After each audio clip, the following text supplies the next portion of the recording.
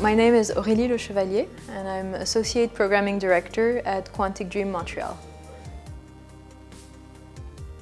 My role on uh, this project in Montreal is to make the gameplay happen. I work closely with all the gameplay programmers to put in place all the tech that we need.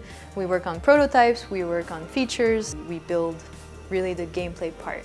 So we work very, very closely with the Paris team and so we have a lot of back and forth with them to try and uh, adapt what they're doing to the gameplay and they give us new tools, so I help manage that.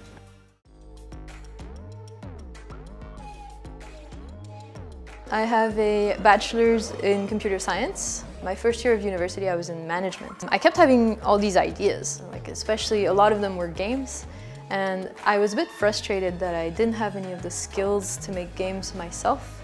And that's when I realized that Montreal was a huge hub for video games. And so I, I got, took a look at the companies and who was working there and what their background was.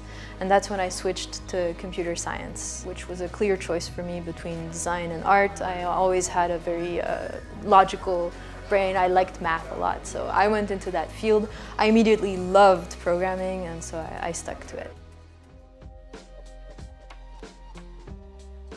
I've been a gamer my whole life. Like I, as early as like two years old, I, I was playing video games uh, all the time. But I never really realized that it was a job uh, that people could do. There are just so many different topics where you can have an impact, uh, but then it's not always the right time to tackle certain topics, or maybe it's not you who should be tackling them. So it's really to be able to be like very, very good at, at prioritization and, uh, and managing your own time and other people's time.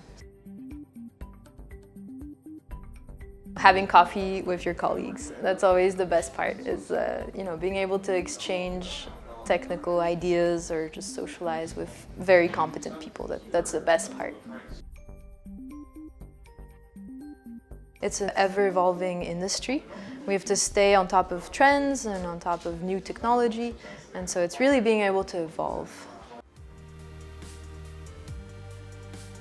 Huge. They can be so many things. They can be a fun time with friends, helping you like with some problems in your life, bringing you new extreme experiences. And that's what I love about it. Games have become so large, like there, there's really a, something for everyone now.